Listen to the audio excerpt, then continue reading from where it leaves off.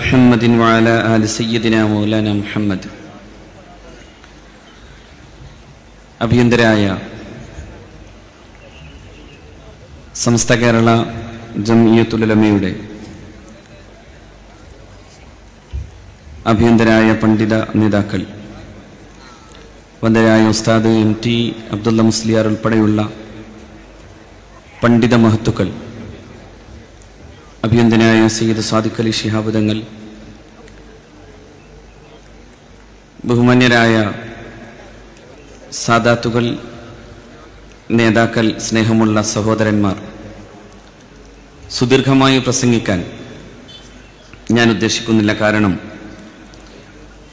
വളരെ പ്രൗഢമായി ഞാൻ ഉൾക്കൊള്ളുന്ന വിഷയത്തോടൊപ്പവും കൂടി വിശദീകരിച്ചുകൊണ്ട് അഭിനന്ദനായ സമദ് സാഹിബിന്റെയും മറ്റും പ്രസംഗം നടന്നു കഴിഞ്ഞു. യഥാർത്ഥത്തിൽ സലഫീസം ലോകത്തുണ്ടാക്കിയ ഏറ്റവും പ്രധാനപ്പെട്ട അപകടം അള്ളാഹുവിന്റെ വിശുദ്ധ ദീനിനെ സംബന്ധിച്ച് തങ്ങൾക്ക് തോന്നിയതുപോലെയുള്ള വ്യാഖ്യാനങ്ങൾ ഉണ്ടാക്കുകയും ആ വ്യാഖ്യാനങ്ങളിലൂടെ പരിശുദ്ധമായ ഇസ്ലാമിനെ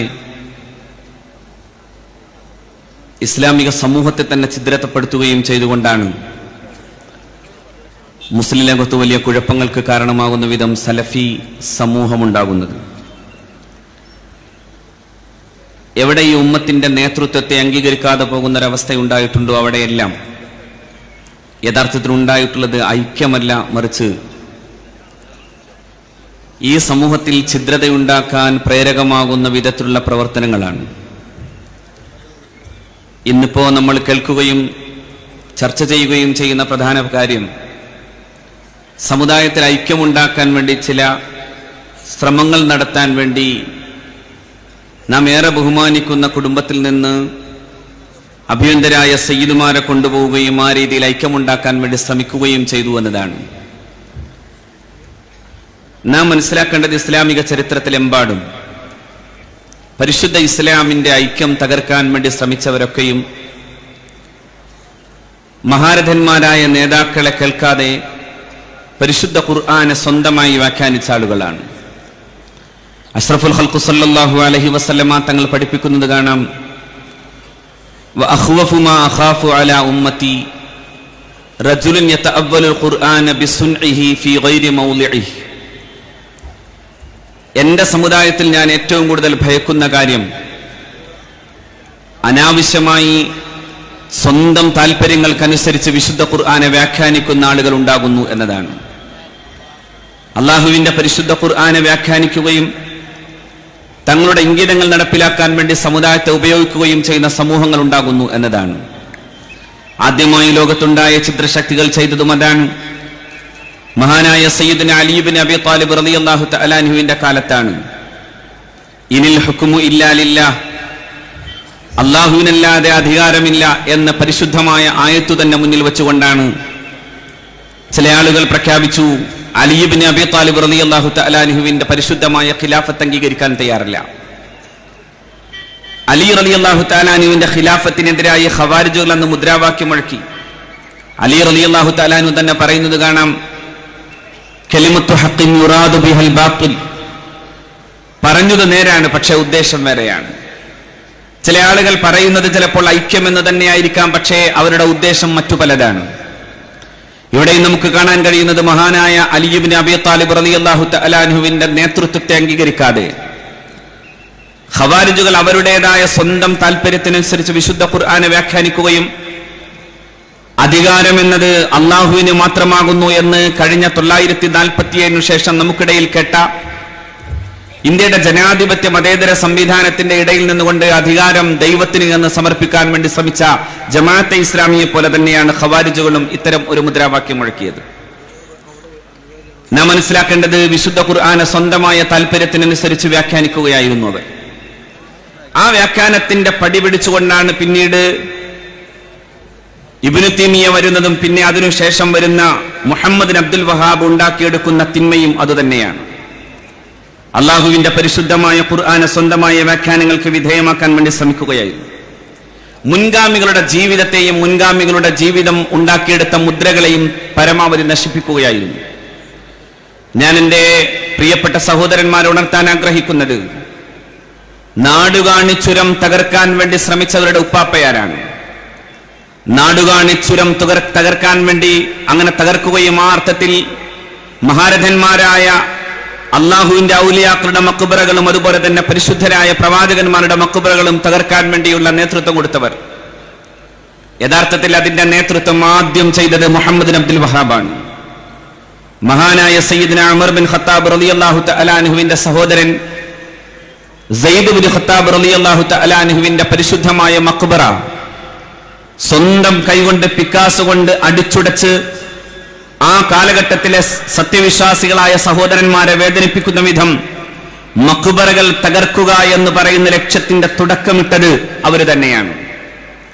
അതുകൊണ്ടാണ് കഴിഞ്ഞ രണ്ടായിരത്തി പതിനാലിൽ ഇസ്ലാമിക് സ്റ്റേറ്റ് എന്ന പേരിലുള്ള ഐസിസ് എന്ന ഏറ്റവും വലിയ ഇസ്ലാമിക തീവ്രവാദ സംഘടന മഹാനായ സയ്യിദുന യൂനുസ് നബി അലൈഹി സ്വലാത്തു വസ്സലാമിന്റെ ഖബർ പൊളിക്കുമ്പോ മഹാനായ സയ്യിദുന ഇമാമുനൻ നവബി റഹ്മഹുല്ല ഇമാം നവബി എന്ന മഹാനായ പരിശുദ്ധ ഇസ്ലാമിന്റെ കർമ്മശാസ്ത്ര സരണിയിൽ ഏറ്റവും പ്രധാനമായി നിൽക്കുന്ന ഷാഫി മദ്ഹബിലെ രണ്ടാം ഷാഫി എന്ന പേരിൽ അറിയപ്പെടുന്ന ആളാണ് ഇമാം നവബി റളിയല്ലാഹു തആലാഹു ആ ഇമാം നവബിയുടെ ഖബർ പൊളിച്ചതും അതോടൊപ്പം തന്നെ യൂനുസ് നബി അലൈഹി സ്വലാത്തു വസ്സലാമിന്റെ ഖബർ പൊളിച്ചതിന്റെയും ചിത്രം കൊടുത്തിട്ട് രണ്ടായിരത്തി പതിനാലിൽ വളരെ പ്രഗത്ഭനായ ഇർഫാൻ ഹബീബ് എന്ന ഇന്ത്യ അറിയുന്ന പ്രഗത്ഭനായ ചരിത്രകാരൻ ദി ഹിന്ദു പത്രത്തിൽ എഴുതുന്നുണ്ട് the agenda of the Islamic State today is merely an extension of the devious plan laid down by Muhammad bin Abdul Wahhab almost 200 years ago.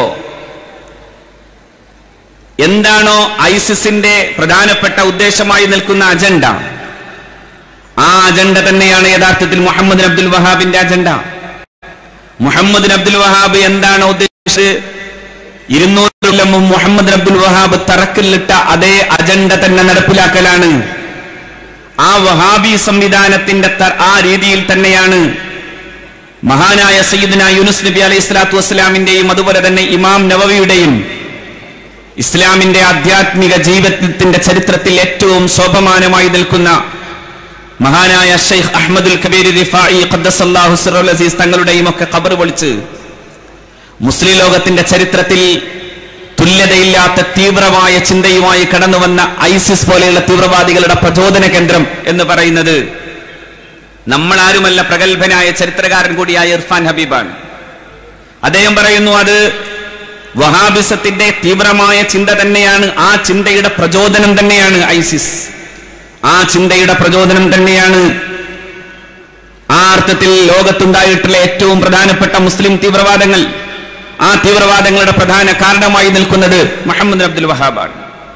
തുടക്കം മുതലേ മിനിങ്ങളായ ആളുകളെ സത്യവിശ്വാസികളെ കൊന്നൊടുക്കിയിട്ട് തന്നെയാണ് വഹാബിസം ഇവിടെ പ്രചരിതമായത്.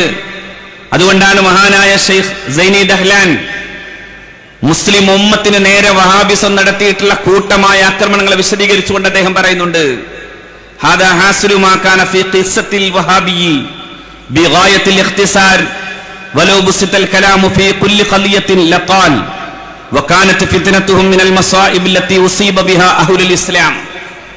അള്ളാഹുവിന്റെ പരിശുദ്ധ ദീൻ നേരിട്ടിട്ടുള്ള ഏറ്റവും കഠിനമായ ദ്രോഹ പ്രവർത്തനങ്ങൾ എവിടെയാണ് എന്നതിനെ കുറിച്ച് ചോദിച്ചാൽ അതിലേറ്റവും പ്രധാനമായി നിൽക്കുന്നത് വഹാബിസം ഉണ്ടാക്കിയ ഫിത്തനയാണ് ആയിരക്കണക്കിന് മനുഷ്യരെ കൊന്നൊടുക്കിയിട്ടാണ് വഹാബി പ്രസ്ഥാനമുണ്ടായത്.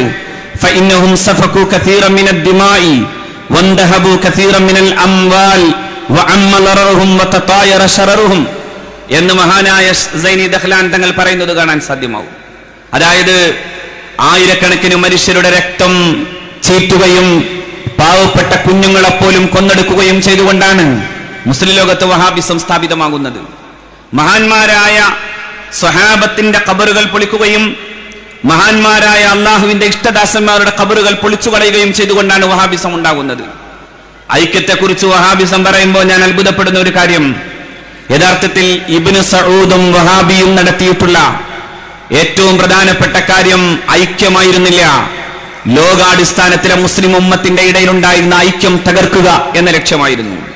അതുകൊണ്ട് തൊള്ളായിരത്തി പതിനഞ്ച് പതിനാല് നാം കാണേണ്ടത് ഒന്നാം ലോക മഹായുദ്ധം ഉണ്ടാകുന്നത് തൊള്ളായിരത്തി പതിനാലിലാണ് തൊള്ളായിരത്തി പതിനാലിൽ ബ്രിട്ടീഷ് താല്പര്യത്തിന്റെ കൂടെ നടക്കുകയും തുർക്കി പോലൊരു സുന്നി ഇസ്ലാമിക സമൂഹത്തിന്റെ വലിയ അർത്ഥത്തിൽ മുസ്ലിം ലോകം കണ്ട ഏറ്റവും പ്രധാനപ്പെട്ട ലോകം കണ്ട ഏറ്റവും വലിയൊരു പ്രദേശമായി നിൽക്കുന്ന അത്ര വലിയ തുർക്കി ഇസ്ലാമിക സാമ്രാജ്യത്തെ തകർത്തു കളയുകയും ചെയ്തതാരാ ശരിക്കു പറഞ്ഞാൽ ബ്രിട്ടീഷുകാരന്റെ കൂടെ നിന്നുകൊണ്ട് വഹാബി പ്രസ്ഥാനാണ്.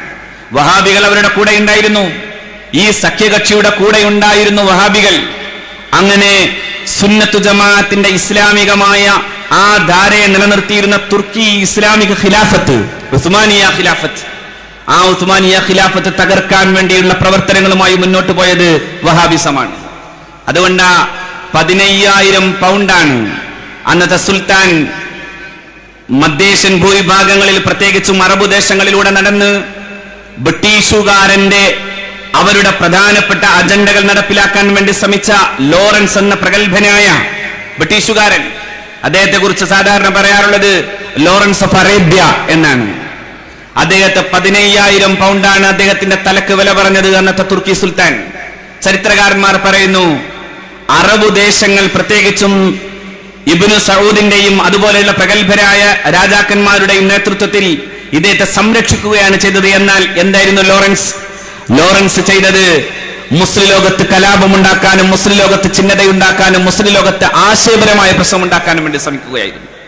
തുർക്കിയെ ഇല്ലായ്മ ചെയ്യുകയും ടു ഡിവൈഡ് ആൻഡ് റൂൾ ഈ സമൂഹത്തിൽ പരസ്പരം ഭിന്നിപ്പുണ്ടാക്കി ആ രീതിയിൽ ഭിന്നിപ്പിച്ചു ഭരിപ്പിക്കാൻ വേണ്ടിയുള്ള ശ്രമങ്ങൾ നടത്താനായിരുന്നു ഏറ്റവും കൂടുതൽ ശ്രമിച്ചത്. ലോറൻസും അതുപോലെ ഹംഫറുമെല്ലാം എഴുതി വെച്ചത് വായിച്ചാൽ വഹാബികൾ എന്താണ് ലോകത്ത് ചെയ്തതെന്ന് കൃത്യമായി നമുക്ക് മനസ്സിലാക്കാനാകും. മുസ്ലിം ലോകത്തിലുണ്ടായിരുന്ന ശരിയായ അർത്ഥത്തിൽ നാമമാത്രമായി നിലനിന്നിരുന്ന ആ ഐക്യം തകർക്കുകയും മുസ്ലിം ലോകത്തിന്റെ ചരിത്രത്തിൽ ഏറ്റവും പ്രധാനപ്പെട്ട കണ്ണുനീരായി ഇന്ന് നിലനിൽക്കുന്ന പലസ്തീനിന്റെ പ്രശ്നങ്ങൾ രൂക്ഷമാക്കാൻ ഏറ്റവും കാര്യമായി പണിയെടുത്തത് വഹാബികൾ കൈപിടിച്ചു കൊടുത്ത ലോറൻസ് ആയിരുന്നു എന്നതാണ് നാം ചരിത്രത്തിലൂടെ വായിക്കുന്നത്. നമ്മൾ ഇന്ന് ഐക്യത്തെക്കുറിച്ചൊക്കെ പറയുമ്പോൾ നമ്മൾ ചിന്തിക്കണം. ലോറൻസ് എന്ന ഇമ്പീരിയൽ ശക്തിക്ക് ലോറൻസ് എന്ന് പറയുന്ന സാമ്രാജ്യത്വ ശക്തിയുടെ അജണ്ട നടപ്പിലാക്കിയ വിടുപണിക്കാരന് ആവശ്യമാകുന്ന പരിപാടികൾ ചെയ്തു കൊടുത്ത കൊടുത്തതാരാ ഈ വഹാബിസമാണ്. വഹാബി മൂവ്മെന്റ് ആണ് എന്ന് മാത്രമല്ല തൊള്ളായിരത്തി പതിനാറ് കഴിഞ്ഞാൽ പതിനേഴിൽ വരുമ്പോ ബാൽഫർ ഉടമ്പടി ഉണ്ടാകുന്നു. ചരിത്രകാരന്മാർ പറയുന്നു വഹാബികൾ ഉൾപ്പെടെയുള്ളവർക്ക് കൊടുത്ത കൈയാണ് യഥാർത്ഥത്തിൽ. മുസ്ലിം സമൂഹത്തിന്റെ മുഴുവൻ അവരുടെ സ്വന്തമായിരുന്ന അറബ് പ്രദേശമായിരുന്ന പലസ്തീനിലേക്ക് ജൂതന്മാരെ കടത്തിവിടാൻ പ്രധാനപ്പെട്ട കാരണമായി തീർന്നത് ബാൽഫർ ഉടമ്പടി വഹാബിസം ചെയ്ത ഏറ്റവും പ്രധാനപ്പെട്ട തിന്മയാണെന്ന് ചരിത്രം വായിച്ചാൽ നമുക്കറിയാനാകും. മുസ്ലിങ്ങൾക്കിടയിൽ പ്രശ്നങ്ങൾ ഉണ്ടാക്കാൻ വേണ്ടി ശ്രമം നടത്തിയത് സാമ്രാജ്യത്വ രാഷ്ട്രീയമാണ് പക്ഷേ ആ സാമ്രാജ്യത്വ രാഷ്ട്രീയത്തിന്റെ കൂടെ നടന്നുകൊണ്ട് മുസ്ലിം സമൂഹത്തിന്റെ ഇടയിൽ പ്രധാനമായ പ്രശ്നങ്ങൾക്ക് കാരണമായി തീരാൻ ഏറ്റവും ശക്തമായി പ്രവർത്തിച്ചത് ആലു ഷെയ്ഖിന്റെ നേതൃത്വത്തിലുള്ള വഹാബികളാകുന്നു എന്ന് ചരിത്രകാരന്മാർ രേഖപ്പെടുത്തുന്നു. എത്ര വലിയ കൊലപാതകങ്ങളാണ് നടന്നത്? Mass killings of mostly innocence victims including women and children by the end of nineteen twenty most of Arabia had been subdued forty thousand people had been publicly executed. നാൽപ്പതിനായിരം ഒമിനിയങ്ങളെ നാൽപ്പതിനായിരം മുസ്ലിങ്ങളെ കൂട്ടക്കശാപ്പ് ചെയ്തിട്ടാണ്. സൗദി അറേബ്യ ഉണ്ടാകാൻ പ്രധാനമായ കാരണമായി തീരുന്ന വിധം മഹാനായൊരു സയ്യിദിനെ ഹുസൈൻ അലി എന്ന് പറയുന്ന പ്രഗത്ഭനായ മക്ക ഭരിച്ചിരുന്ന അതിന്റെ അമീറിനെ നാടുകടത്തുകയും ആ സയ്യിദിന് അദ്ദേഹത്തിന്റെ അദ്ദേഹത്തിന്റെ അധികാരങ്ങൾ മുഴുവൻ ഇല്ലായ്മ ചെയ്യുകയും ചെയ്ത് നാടുകടത്തുകയും ചെയ്തത് ഇതേ വഹാബീസ് പ്രസ്ഥാനാണ്. ആ വഹാബി മൂവ്മെന്റ് ആണ് ലോകത്തിന് ഏറ്റവും പ്രധാനപ്പെട്ട പ്രശ്നങ്ങൾക്ക് കാരണക്കാർ. ഇപ്പോ ചില ആളുകൾ പറയുന്നു അത് കേരളത്തിലെ വഹാബികളല്ലെന്ന്. ഞാൻ പറയുന്നു കേരളത്തിലെ വഹാബികൾക്ക് എന്താ കുഴപ്പം? കേരളത്തിലെ വഹാബികൾ ചെയ്യുന്ന പ്രശ്നങ്ങളെ കുറിച്ച് നിങ്ങൾ ആലോചിച്ച് നോക്കൂ. നമ്മുടെ നാട്ടിൽ വളരെ പ്രധാനമായ ഒരു മാധ്യമ പ്രവർത്തകൻ സൂചിപ്പിച്ചതുപോലെ എന്തേ സുന്നികൾ ആരും ആടുമേക്കാൻ പോകാത്തത് സുന്നികൾ ആടുമേക്കാൻ പോകാത്തത് അവരെ പഠിപ്പിച്ച മഹാരഥന്മാരായ പാരമ്പര്യവാദികളായ പണ്ഡിതന്മാർ അള്ളാഹുവിന്റെ വിശുദ്ധ ദീൻ ഒരു ബഹുസ്വര സമൂഹത്തിൽ എങ്ങനെ പ്രയോഗ ജീവിതത്തിലൂടെ കൊണ്ടു നടക്കണമെന്ന് കൃത്യമായി നമ്മളെ പഠിപ്പിക്കുകയും ആ രീതിയിൽ ഒരു ബഹുസ്വര സമൂഹ ഘടനയിൽ സൗഹൃദത്തോടെ ജീവിക്കാൻ പഠിപ്പിക്കുകയും ചെയ്തുകൊണ്ടാണ് സമസ്തയുടെ മുൻകാല ആലിമീങ്ങൾ എന്ന് മാത്രമല്ല നമ്മുടെ പാരമ്പര്യത്തിലൂടെ കടന്നു വന്ന മഹാരഥന്മാരായ പണ്ഡിതന്മാർ ജീവിച്ചത്. അസമയം ദമ്മാജിലേക്ക് ആടുമേക്കാൻ പോയവരെന്താ ചെയ്തത്? ദമ്മാജിലേക്ക് ആടുമേക്കാൻ പോയതിനെ കുറിച്ച് ഇസ്ലാം മാസിക തന്നെ പറയുന്നത് അതൊരു ശരിയായ രീതിയാണെന്നാണ്. ഐസും അൽഖായിദയും ദമ്മാജ് ദാർലാദീസ് വിഭാഗങ്ങളെ വലവീശി പിടിക്കുമ്പോൾ ഭീകരതയുടെ വേരുകൾ പിഴുതെറിയണമെന്ന സൗദി ആവശ്യം പ്രധാനമാണ് എന്ന് സൂചിപ്പിച്ചുകൊണ്ട് സൗദി അറേബ്യയിലെ യൂണിവേഴ്സിറ്റികളിൽ പഠനം നടത്തുകയും ലോകോത്തര സലഫി പണ്ഡിതന്മാരിൽ ഒരാളായ ആധുനിക ലോകത്ത് അറിയപ്പെടുകയും ചെയ്യുന്ന ഷെയ്ഖ് മുഖബിൽ ബിൻ ഹാദി. അദ്ദേഹത്തെ കുറിച്ചാണ് അഭിവന്ദനായ സമദ് സാഹിബ് ഇവിടെ സൂചിപ്പിച്ചത്. ഒരിക്കൽ ഹറമ് പൊളിക്കാൻ തീരുമാനിച്ചയാൾ അതിന്റെ പേരിൽ അറസ്റ്റ് വരിക്കപ്പെട്ടയാൾ. ആ ആ ഷെയ്ഖ് മുഖബിൽ ഹാദിയുടെ അടുക്കലേക്ക് ദാറുൽ ഹദീസ് എന്ന പേരിൽ അദ്ദേഹം ഉണ്ടാക്കിയിട്ടുള്ള ദമ്മാജിലെ ആ മതപാഠശാലയിലേക്കാണ് ഇവർ പോയത്. ലോകത്തിന്റെ നാനാഭാഗങ്ങളിൽ നിന്നും ആയിരക്കണക്കിന് ആളുകൾ അറിവ് തേടിയെത്തുകയും സ്വന്തം ദേശങ്ങളിലേക്ക് മടങ്ങി തങ്ങളാലാവും വിധം ദീൻ പ്രചരിപ്പിക്കുകയും ചെയ്യുന്ന പാരമ്പര്യമാണ് ദാറുൽ ഹദീസിന്റെ നാൽപ്പത് വർഷത്തെ സമ്പാദ്യം. കേരളത്തിൽ നിന്ന് യമനിലേക്ക് വിദ്യ തേടി പോകുന്ന പാരമ്പര്യത്തിന് പത്തു വർഷത്തെ പഴക്കമേ കാണൂ. യമനിൽ പഠനം പൂർത്തിയാക്കി വരുന്ന ചെറുപ്പക്കാരിൽ അസൂയാവഹമായ വൈജ്ഞാനിക വളർച്ചയുണ്ട്. അള്ളാഹു കാക്കട്ടെ. ഇനി ഐറ്റങ്ങൾ ഇങ്ങോട്ട് വരാതിരിക്കട്ടെ എന്ന്. നോക്കൂ നിങ്ങൾ അതായത് ദമ്മാജിലേക്ക് പോകാൻ. ഇവർ തന്നെയാണ് പ്രോത്സാഹനം നടത്തുന്നതെന്ന് വളരെ കൃത്യമായി പറയുന്നു. ശരിക്കു പറഞ്ഞാൽ മുസ്ലിം ലോകത്തുണ്ടാക്കിയ സകലമാന തിന്മയുടെയും പ്രധാന കാരണം. ഈ വഹാബി മൂവ്മെന്റ് ആണ് അതുകൊണ്ടാണ് വഹാബികൾക്ക് ഏണി വെച്ചു കൊടുക്കുന്ന പരിപാടികൾക്ക് നിൽക്കണ്ടെന്ന് പലരോടും നമുക്ക് പറയേണ്ടി വരുന്നത്. കാരണം വഹാബി പ്രസ്ഥാനം ഇനി അവസാനം പോയി നിൽക്കാൻ പോകുന്നത് ആത്യന്തികമായ മൗലിക മത തീവ്രവാദത്തിലേക്കാണ് ഇനിയൊരു സംശയം വേണ്ട. ഇതിങ്ങനെ കൊഴിഞ്ഞു കൊഴിഞ്ഞു പോയി അവസാനം ഇതെല്ലാം കൂടി ചെല്ലുന്ന സ്ഥലം ഏതെന്നറിയുമോ? ഇപ്പൊ ഈ വിസ്ഡം ഗ്ലോബൽ മിഷൻ എന്ന് പറയുന്ന ഒന്നുണ്ട്. ഈ വിസ്ഡം ഗ്ലോബൽ മിഷനാണ് തൊള്ളായിരത്തി അറുപത്തിരണ്ടിൽ ഉണ്ടാക്കിയ ആദ്യത്തെ വഹാബി മിലിറ്റൻസി ഇപ്പൊ കേരളത്തിൽ വന്നിട്ടുണ്ടല്ലോ അത്. തൊള്ളായിരത്തി അറുപതുകളിൽ ലോകത്തുണ്ടാക്കിയ ആദ്യത്തെ വഹാബി മിലിറ്റൻസി തന്നെയും ഈ വിസ്ഡം ഗ്ലോബൽ മിഷനാണ് ഇസ്ലാമിക് ഗ്ലോബൽ മിഷൻ എന്നും വിസ്ഡം ഗ്ലോബൽ മിഷൻ എന്നും രണ്ടും മാറ്റി പറയുന്നതേ ഉള്ളൂ. ഈ ടീമിനും പോലും ദമ്മാജിലേക്കെന്നല്ല ഈ നാട് വിട്ട് മറ്റ് സിറിയ പോലെയുള്ള രാജ്യങ്ങളിലേക്ക് ആളെ കൊണ്ടുപോകുന്ന പരിപാടികൾ തുടങ്ങിയിട്ടുണ്ട് എന്നതൊരു വസ്തുതയാണ്. അത്തരം കാര്യങ്ങൾ നമ്മുടെ നാട്ടിൽ നടക്കുമ്പോ മതപരമായ സഹവർത്തിത്വത്തിന്റെയും നന്മയുടെയും ഒരു നന്മ നിലനിൽക്കുന്ന രാജ്യത്ത് ഈ സൗഹാർദ്ദം നിലനിൽക്കാൻ വേണ്ടി ഏറ്റവും കൂടുതൽ പാടുപെട്ട മുസ്ലിം സമൂഹത്തെ സംബന്ധിച്ചിടത്തോളം ഇപ്പോ ഉണ്ടായിട്ടുള്ള വളരെ ദൗർഭാഗ്യകരമായ അവസ്ഥയിൽ നിന്ന് കരകയറേണ്ടതുണ്ട്. എങ്ങനെയാണ് നമ്മൾ ഐക്യവിരോധികളാകുന്നത് ഇവിടെ എല്ലാവരും സൂചിപ്പിച്ചതുപോലെ ഒരു കാര്യം സൂചിപ്പിക്കാൻ ആഗ്രഹിക്കുന്നു. ഐക്യത്തിന് വേണ്ടി സമുദായ നന്മക്കു വേണ്ടി ഏറ്റവും കൂടുതൽ സഹിച്ചത് സമസ്ത കേരള ജമ്യത്തലമയാണ് എപ്പോഴാ? തൊള്ളായിരത്തി എൺപത്തി അഞ്ചുകളിൽ എൺപത്തഞ്ചിൽ ഷാബാനു ബീഗം കേസുണ്ടാകുന്നു. ശരിക്കും പറഞ്ഞാൽ ഷാബാനു ബീഗം കേസിന്റെ ഒരു ഒരു ഒരു കൃത്യമായ അതിന്റെ ഒരു നാഴികക്കല്ലായി നമ്മൾ കാണുന്നത് അതുവരെ നമ്മുടെ കോടതികൾ സാധാരണ ചെയ്യാറുള്ള രീതി ഉണ്ടായിരുന്നു. നമ്മുടെ ഇസ്ലാമികമായ വിഷയങ്ങളിൽ കേസ് വരുമ്പോൾ കോടതികൾ പറയാറുള്ളത് it would be wrong for the court to put their own construction on Quran എന്നാണ്. ഖുർആന്റെ കാര്യത്തിൽ സ്വന്തം താല്പര്യം അനുസരിച്ച് വ്യാഖ്യാനിക്കാൻ കോടതികൾക്ക് പാടില്ല എന്നാണ്. It would be wrong for the court കോടതിക്ക് തെറ്റായ രീതിയാണ് to put their own construction on Quran ഖുർആന്റെ മേൽ മറ്റൊരു തീരുമാനം ഉണ്ടാക്കാൻ പാടില്ല. എങ്ങനെ? Against the interpretation of high authority വളരെ പ്രഗത്ഭരായ മധുഹബിന്റെ ഇമാമിങ്ങൾ പറഞ്ഞതിനപ്പുറം പറയാൻ പാടില്ല. ഇന്നിപ്പോ കുര്യൻ ജോസഫ് എന്ന പ്രഗത്ഭനായ ജഡ്ജ് ഇന്ത്യയുടെ ഭരണഘടനാ സംബന്ധിയായിട്ടുള്ള വളരെ പ്രധാനപ്പെട്ട ഒരു ബെഞ്ചിന്റെ അഞ്ചു പേരിൽ ഒരാളായിരുന്നു. കഴിഞ്ഞ ഓഗസ്റ്റിൽ എന്നിട്ട് മുസ്ലിം നിയമങ്ങളുമായി ബന്ധപ്പെട്ടുകൊണ്ട് മുത്തലാഖ് വിഷയം സംബന്ധിയായ ചർച്ച വന്നു. ആ ആ അഞ്ചു ബെഞ്ചിൽ ആ അഞ്ചംഗങ്ങളിൽ ഏറ്റവും പ്രധാനമായി നിന്ന ജസ്റ്റിസ് കഹാർ എന്ന അന്നത്തെ ചീഫ് ജസ്റ്റിസ് അദ്ദേഹം പറഞ്ഞു ആയിരത്തി നാനൂറ് കൊല്ലമായി മുത്തലാഖ് എന്ന് പറയുന്നത് നിലനിൽക്കുന്നുണ്ട്. അത് മുസ്ലിങ്ങൾക്കിടയിൽ നടക്കുന്ന മുസ്ലിം നിയമപ്രകാരം തന്നെ നടപ്പിലാക്കപ്പെടുന്ന ഒന്നാണ് എന്നായിരുന്നു ജസ്റ്റിസ് കഹാർ അതായത് ഇന്ത്യയുടെ ചീഫ് ജസ്റ്റിസ് പറഞ്ഞത്. അതേസമയം കുര്യൻ ജോസഫ് പറഞ്ഞു അങ്ങനെയല്ല എന്താ കാരണം എന്നറിയോ അദ്ദേഹം പറഞ്ഞു പരിശുദ്ധ ഖുർആൻ അതിനെതിരാണ്. എങ്ങനെ അദ്ദേഹത്തിന് അത് കിട്ടിയത്? ഖുർആൻ എതിരാണെന്ന് അദ്ദേഹം മനസ്സിലാക്കിയത് കുറെ ആളുകൾ എഴുതി വെച്ചിട്ടുള്ള വ്യാഖ്യാനങ്ങളിൽ നിന്നാണ്. പരിശുദ്ധ ഖുർആന്റെ മൗലികമായ അർത്ഥത്തിലുള്ള വ്യാഖ്യാനങ്ങളായിരുന്നില്ല അത്. അതാണ് എൺപത്തിയഞ്ച് വരെ നമുക്ക് കാണാനാകും. കോടതി സംബന്ധിയായി മുസ്ലിങ്ങളുമായി ബന്ധപ്പെട്ട പ്രശ്നങ്ങൾ വന്നപ്പോ കോടതികൾ കൃത്യമായി പറഞ്ഞു it would be wrong for the court to put their own construction on Quran ഖുർആന്റെ വിഷയത്തിൽ നമുക്ക് മറ്റൊരു അഭിപ്രായം പറയണ്ട. നാല് മധുഹബുകളുടെ ഇമാമുകൾ കോൺസെൻസ് ആയിട്ടുള്ള അവർ എവിടെയാണോ ഏകോപിച്ച് ഇജുമായി പറഞ്ഞത്? ആ ഇജ്മാ ഇത്ര പോലും കോടതി പറയുന്നുണ്ട്.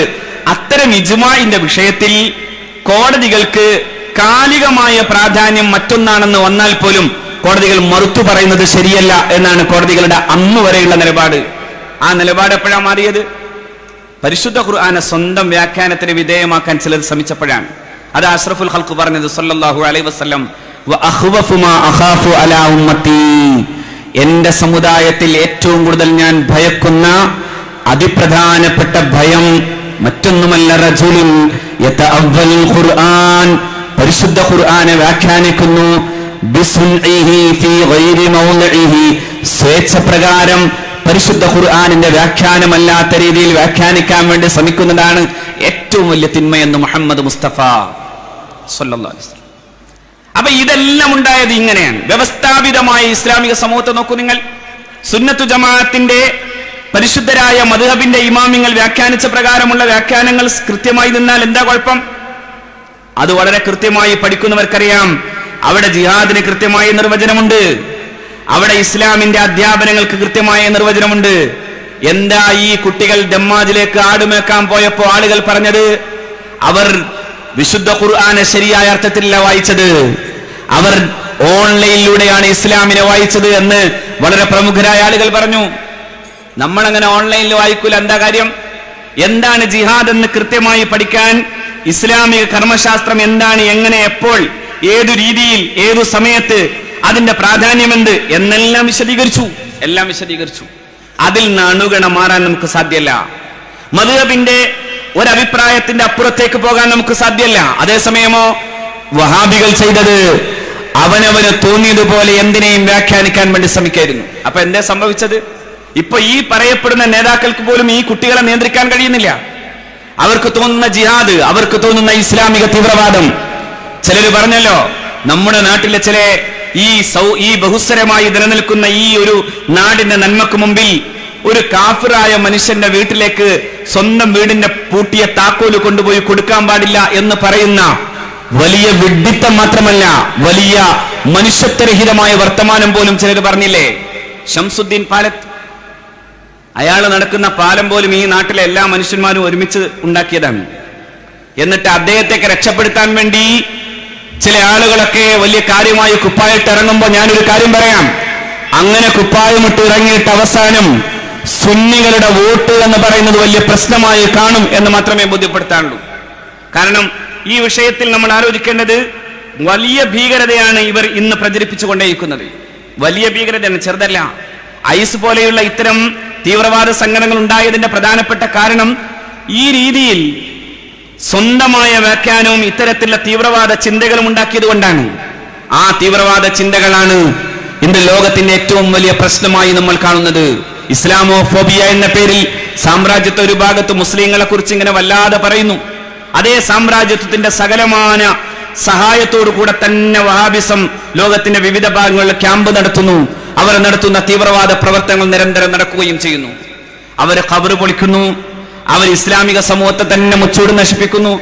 ഐസ് ചെയ്യുന്നത് ഇസ്ലാമിക സ്റ്റേറ്റ് എന്ന പേരിൽ നടക്കുന്ന ഈ ഉഗ്ര തീവ്രവാദം ചെയ്തതെന്താ? മുസ്ലിം ലോകത്തെ ഏറ്റവും പ്രഗത്ഭന്മതിയായ ഒരു പണ്ഡിതനായിരുന്നു മഹാനായ ഷെയ്ഖ് റമദാൻ അൽ ബുത്തി അസീസ്. സിറിയയിലെ സുന്നി പണ്ഡിതൻ അഹ്ലുസുന്നത്തി വൽ ജമാഅയുടെ പരിശുദ്ധമായ അഖീദ അനുസരിച്ച് ജീവിച്ച പണ്ഡിതൻ നാല് മധുഹബുകളും കൃത്യമായി പഠിച്ച മഹാനായ പണ്ഡിതൻ. അദ്ദേഹം എഴുതിയ ഒരുപാട് കിതാബുകളുണ്ട്. ആ മനുഷ്യനെ അദ്ദേഹം ഇരുന്ന പരിശുദ്ധമായ മസ്ജിദിൽ ബോംബ് സ്ഫോടനം നടത്തി കൊല്ലുമ്പോ മഹാനായ റമദാൻ ബുത്തിയെ പോലെ ആയിരക്കണക്കിന് വരുന്ന മനുഷ്യരെ കൊല്ലലല്ലാതെ മറ്റേത് ഉപകാരമാണ് യഥാർത്ഥത്തിൽ ഐസ് പോലെയുള്ള വഹാബി തീവ്രവാദം ചെയ്തത്. മഹാനായ റമദാൻ ബുത്തി ഈ തീവ്രവാദത്തിനെതിരായി ശക്തമായി നിന്നു എന്നത് മാത്രമാണ് അദ്ദേഹത്തിന്റെ തെറ്റ്. മുസ്ലിം സമൂഹത്തിന്റെ പാരമ്പര്യത്തെ കുറിച്ച് പറയുകയും ആ ഇസ്ലാമികമായ ആദർശങ്ങളുടെ സമാധാനവും നന്മയും പറയുകയും ചെയ്തു എന്നതാണ് റമദാനിൽ ബുദ്ധി ചെയ്ത തെറ്റ്. റമദാനിൽ ബുദ്ധിയെ പോലെയുള്ള മഹാരഥന്മാരായ പണ്ഡിതന്മാരെ കൊന്നവർ അവനാണ് കേരളത്തിലും ഇപ്പോൾ പതുക്കെ പതുക്കെ ഉയർത്തി തലയുയർത്തി നിൽക്കുന്നതെന്ന് നാം മനസ്സിലാക്കേണ്ടത്. ശരിക്കു പറഞ്ഞാൽ ഈ ഔദ്യോഗികം എന്ന് പറയുന്ന ചില ആളുകൾ ഒരു പക്ഷേ കാര്യമായ ഇവിടെ വലിയ കുഴപ്പമൊന്നും ഉണ്ടാക്കിയില്ല എന്ന് വന്നേക്കാം. പക്ഷെ ഒരു കാര്യം ഇവരൊക്കെ സ്വന്തമായ വ്യാഖ്യാനം ഉണ്ടാക്കിയപ്പോ സ്വന്തമായ വ്യാഖ്യാനങ്ങൾക്കനുസരിച്ച് ആളുകളെ പറഞ്ഞു വിട്ടപ്പോ ചിലരെ ആടുമേക്കാൻ പോകുന്നു ചിലര് വലിയ തീവ്രവാദവുമായി മുന്നോട്ട് പോകുന്നു. ഈ ഭീകരതകൾ മുഴുവനും ഉണ്ടാക്കാൻ പ്രധാനപ്പെട്ട കാരണമായി നിൽക്കുന്ന വഹാബിസം. ആ വഹാബിസത്തിന് ഇനി ആളെ കൊടുക്കാവുന്ന രൂപത്തിലേക്ക് കാര്യങ്ങൾ പോകാതിരിക്കേണ്ടത് ഉത്തരവാദിത്തപ്പെട്ട ആളുകൾ ചിന്തിക്കേണ്ട കാര്യമാണ്. അള്ളാഹു റബ്ബുൽ ഇസത്ത് തൗഫീഖ് ചെയ്യുമാറാകട്ടെ.